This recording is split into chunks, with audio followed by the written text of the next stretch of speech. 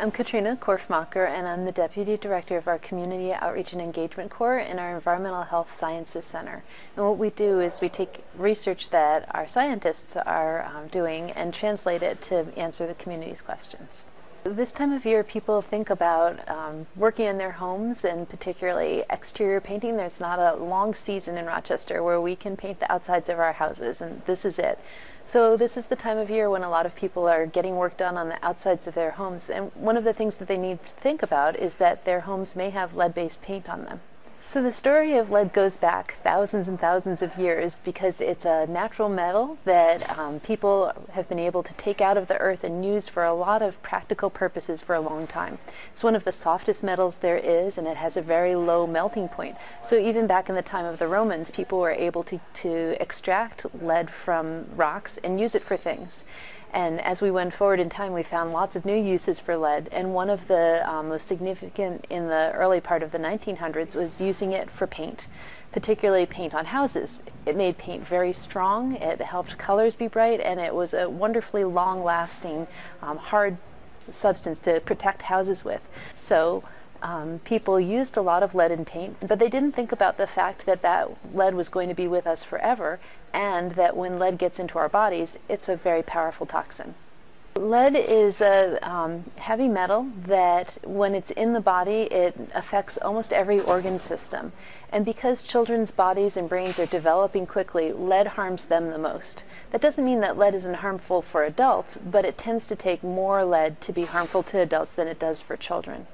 So for adults, we might see um, first emotional or uh, aggressive behaviors, um, and then loss of feeling in the tongue or the fingers, and leading to all kinds of complications. And at high enough levels, it can cause coma or even death. That we usually only see in occupational settings where someone's being exposed to a lot of lead because of their work or their hobbies or their lifestyle children can be damaged by lead at much lower levels, and that's why we focus so much on children's health when we're talking about lead. When lead gets into a child's body, it is incorporated into their growing bones and it stays there forever. It affects how their brains are developing, and that's a permanent impact. So the worst thing about lead is that you really can't treat it. Once it affects the growing body in that way, its effects are permanent. So we really focus on avoiding exposure and keeping kids from um, getting lead into their bodies.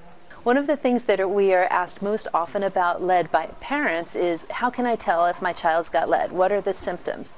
And the hardest thing to tell them is that there really aren't symptoms even at levels where um, lead can be causing harm, there may be no signs or symptoms in a child's behavior or their, their physical health. It isn't until later that symptoms such as aggressive behavior or difficult, difficulty learning show up.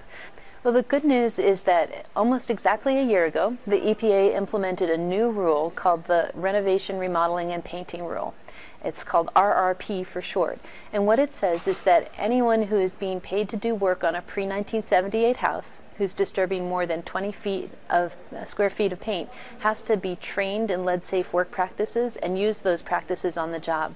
So if you are having someone do work on your house, you should make sure that they have what's called RRP certification. And while they're doing the work, make sure that they are working in a lead safe way. And basically that means not generating a lot of dust, making sure that any any paint dust that gets into the air is um, collected and sealed off from the rest of the house and that a very thorough cleaning job is done after the work's completed.